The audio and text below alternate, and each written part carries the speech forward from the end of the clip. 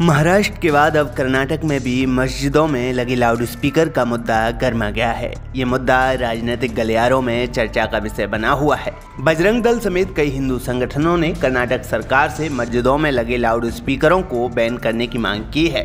अब इस मामले पर कर्नाटक के सीएम बसवराज बॉम्बई का भी बयान आया है। कर्नाटक के सीएम का कहना है कि किसी को मजबूर करने वाली बात नहीं है। उन्होंने कहा कि ये तो हाई कोर्ट का आदेश है और सिर्फ़ अजान के लिए नहीं है। सीएम ने कहा कि हर मुद्दे पर बात करके लोगों को समझाना पड़ता है। उन्होंने कहा कि ये सभी तरह के लाउड स्पीकरों के लिए है। आइए सुनवाते हैं बसवराज बम्बई ने क्या कहा। देखो ये हाईकोर्ट का ऑर्डर है वो परिष्करण कर रहे हैं और ये फोर्स की बात नहीं है। ये समझा बुझा के आ, सब कुछ करना है। High court orders it is not only for azan it is only all all all um, what you call uh, loudspeakers.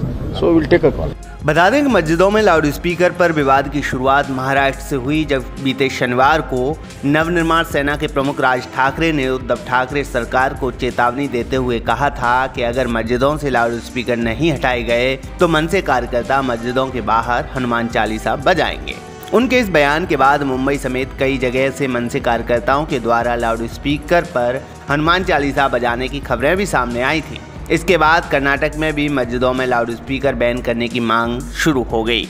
वहीं कर्नाटक की बात करें तो पिछले तीन महीने से सूबा हिजाब और हलाल मीट विवाद को लेकर चर्चा में बना हुआ है। पहले स्कूलों में हिजाब बैन का मामला देश भर में छाया रहा।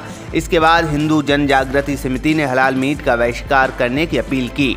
इसको लेकर भी राज्य में खूब बवाल देखने को मिला है।